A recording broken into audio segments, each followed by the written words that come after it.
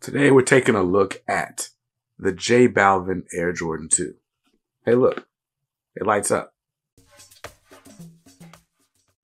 What's up guys, BJ Kicks here. Welcome back to my channel Kicks on Kicks where I review sneakers and today we are taking a look at this, the Air Jordan 2 uh, by J Balvin. Visit what, Air Jordan 2 times J Balvin. Is that how we mark collaboration still?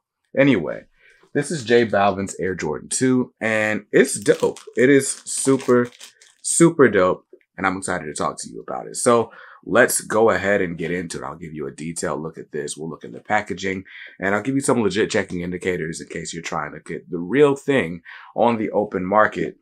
Good luck. Um, but yeah, so this shoe, before we get into it, I got to give a quick shout out to the seller that sent it over.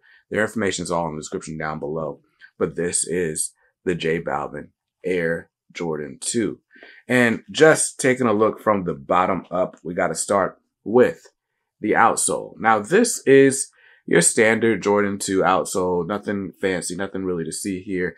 Got your Nike little puck in the middle, and then you got a similar traction pattern to the Jordan 1, but not as iconic. Certainly not as iconic.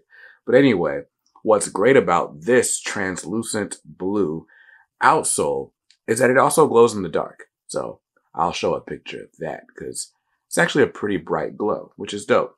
Moving on up to your midsole, again, super basic midsole for your Air Jordan 2. And this is all in white. And now let's move on to the uppers where there's a lot to talk about, honestly. So on your uppers, for one, this shoe is made up of mostly nubuck. So you got this Carolina or sky blue nubuck. Obviously, this this uh, shoe takes a lot of inspiration from the sky and just imagination and colors and dreamy vibes. This reminds me a lot of the album cover for Drake's um, Nothing Was the Same. That's the one with the floating head, right? Yeah. But anyway, uh, yeah. So you got your sky pattern toward the heel um, with this translucent or really mostly transparent overlay. You got the J Balvin smiley face logo with the lightning bolts for eyes. You got these clouds, really cool sky vibes right here on the back. Um, and then moving up toward the ankle, you got your nice block text Nike there. Let's move over to the medial side where, uh, this is a Jordan 2, which by the way, like, I feel like it's just a great canvas. Like, there's not a lot you can do to mess up a Jordan 2. You can change the materials, change the colors, and it's still gonna look like a Jordan 2. And this is made to be like super premium. Like Michael Jordan envisioned the Jordan 2 being a really high end Italian leather, all this stuff. And so when you do these high profile collaborations, you kind of wanted to live up to the spirit of that, that luxury, that, that just elegance. But anyway, but the defining feature on this one's gotta be the ripstop material that this is made of. Also done up in the, this classic kind of sky blue color um, with the white sort of checkerboard patterns. Um, and then it's got this rainbow stitching. So this ripstop material, obviously you can't rip it, can't cut it or tear it, which is pretty cool. So we shouldn't see it fraying after any amount of time. This contrast stitching, on the other hand, maybe not so much, but this is rainbow contrast stitching, which I think is cool. J Balvin's thing is obviously the rainbow. And I think, um, the contrast stitching was a good way to incorporate the rainbow without just making the shoe way too busy and loud. So good job there.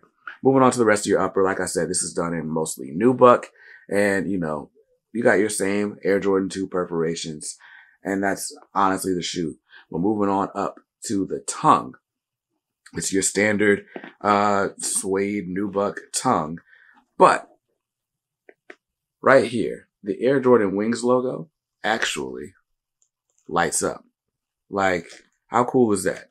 So, uh, on my pair, on this pair, you actually get a couple of different light modes. So you got this solid green light. Then you got this flashing green light. And then you got this like super fast pulsating green light. Then you turn it off.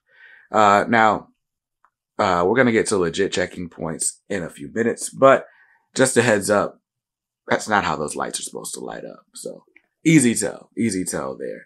Um, and that's pretty much the shoe. Uh, now we talked about the shoe. Let's take a look at the packaging real quick.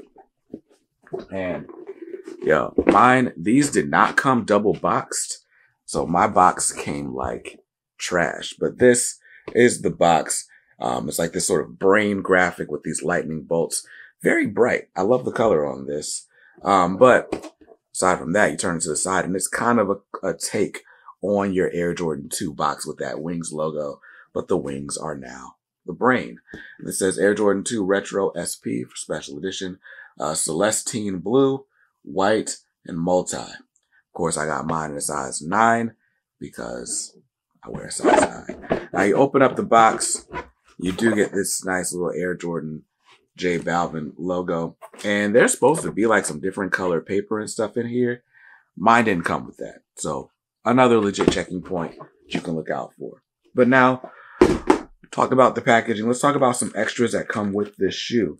It's already unique because it does come with these uh, light up uh, tongues, but you also get some extra laces. So these come pre-laced with this white lace with the pink lace tips. But also you get blue laces with green lace tips. You get green laces with pink lace tips. So you get some extra laces there. I'm probably going to keep the white ones in mind. I like that contrast. Um, another thing to note on your insole, you also get that cool J Balvin Air Jordan logo. And that's honestly the shoe. Um, I'm not going to do an on feet this time around. I actually put these on feet and I found that they fit a little bit tight, but legit checking indicators. Um, there's actually quite a few with this shoe. This one's a little bit easy to tell from its retail counterpart. One, the color on this ripstop material is just not quite right. It's supposed to be a little bit more muted, but it's a little bit brighter than it should be. It's probably hard to tell from this angle because of the light, but there's just slight color variation that you can tell apart from a retail. But the biggest tell, the biggest tell, besides this light not pulsating in the right pattern, but um, this nubuck material, the nubuck on this upper is supposed to be a super soft nubuck. This doesn't feel like nubuck at all. It feels stiff. It feels plasticky. Um, and it's just not comfortable. When you think of a $300 Air Jordan shoe, you're thinking comfort. You're thinking premium materials. Uh, maybe not comfort, but certainly premium materials. And the premium materials lend themselves to being comfortable. This is like a super stiff, not nubuck. And because it's so stiff, it's kind of uncomfortable. And I noticed that there's not a lot of flex. There's not a lot of give. And so this shoe actually fit me kind of small. I found. Um, I'm just gonna put it back on because it's been like a week since I tried this on. So let's see.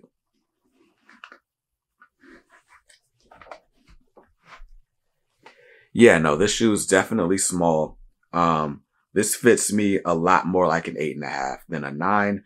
And it's honestly not going to be a comfortable wear, um, in this size. So I did, I went true to size. I'd probably recommend you go a half size up if the sizing is consistent because these do say they're a size nine. So yeah, I'm definitely, I'm team go half size up if you're trying to get these. But man, yeah, this is not going to be a comfortable wear. So that's unfortunate. But I mean, overall, for the looks, a good looking shoe. And now that I've warned you, you can go ahead and go up a half size. What do I think about these? I think they're kind of loud the the lights, I'm never going to use the light up feature. Um, and I mean, the Carolina blue, I love Carolina blue. You can see I've got a whole UNC wall behind me. I'm wearing a North Carolina Tar Heel shirt. And I mean, I guess you could kind of pull this off as a Carolina based shoe, but this shoe has nothing to do with, uh, the University of North Carolina. Um, but it's a cool thing to look at. The $300 price tag, it's kind of crazy to me. I, I don't know that I'd pay $300 even for the real version of this shoe, unless it was just to flex on strangers on the internet. And who's doing that?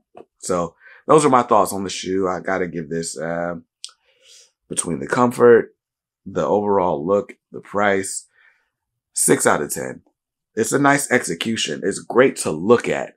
but the form factor, the functionality is just not quite there. But that's the shoe. And um, again, I'm not going to do an on feet. So thanks for watching the video. I'll see you in another review very soon. Peace.